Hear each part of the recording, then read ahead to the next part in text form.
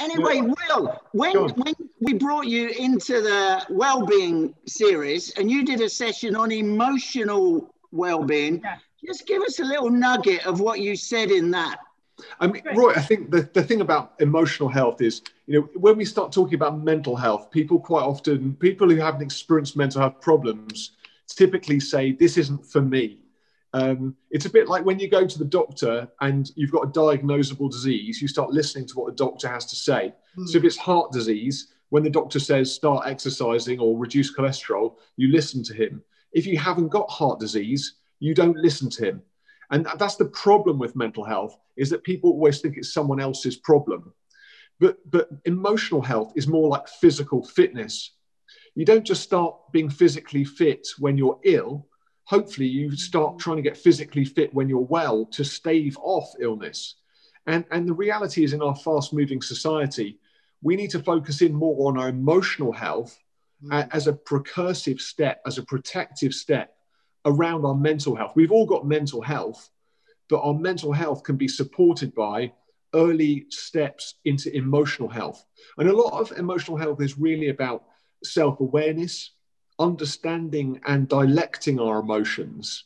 And, and actually beginning to respond to our emotions. There was quite a culture in the church, I think, for quite a long time, which was all about, you know, don't trust your emotions or don't listen to your emotions or your emotions are kind of agents of, of, of danger you know, and actually what, what, what emotions, Jesus was the most emotionally literate person to ever walk the earth. And he expresses all of the human emotions. Mm. You know, yes, he's full of peace and joy, but he's also full of anguish and grief and sadness and anger and emotions that lots of Christians and people in the general society think are off limits for them. But I think if Jesus could be all of those things, then I should be all of those things as well. So emotional health is about dialecting our emotions. That means what does, what does well what does dialecting mean? Dialecting. I was going to say the same thing. So, so it means it means interpreting or connecting with our emotions. So, I mean, mm-hmm. I don't know if you guys use emojis. I, I like emojis in my text messages, but lots of the emojis are actually quite complicated.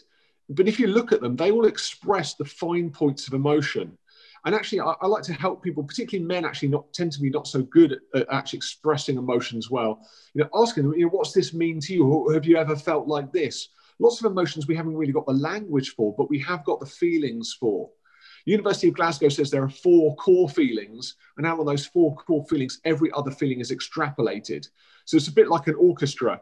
There's the woodwind, the strings, the percussion, and the brass. They're all, if you like, they're the core areas of our emotions.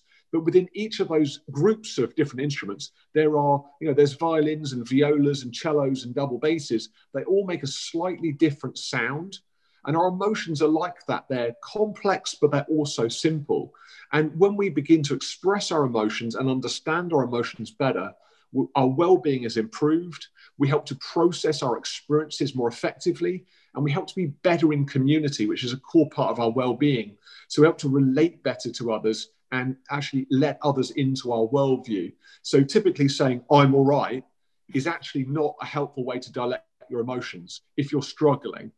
So what we're doing here is trying to help people with their vocabulary. It's a bit like learning a new language, but this is a language you're sharing with others. It's common to everyone. We just have to be able to express it effectively. So that's a key part of what emotional health looks like.